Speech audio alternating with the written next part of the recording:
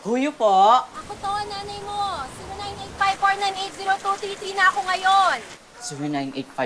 0985498023 daw po.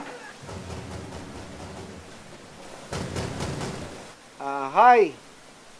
Sino to? 0910291565. Ako to, mahal. 0985498023 na ako ngayon. Scammer ka! Huwag hanap ka na ibang maloloko!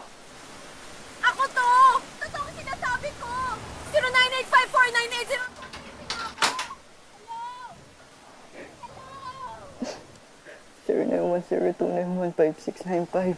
Natatakot ako. Huwag kang mag-alala. 0951912249. Kahit na anong sigaw niya, hindi niya tayo malalako.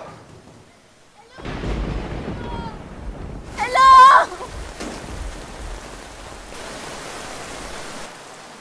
Uy! 0930 naman! Hindi kita kilala.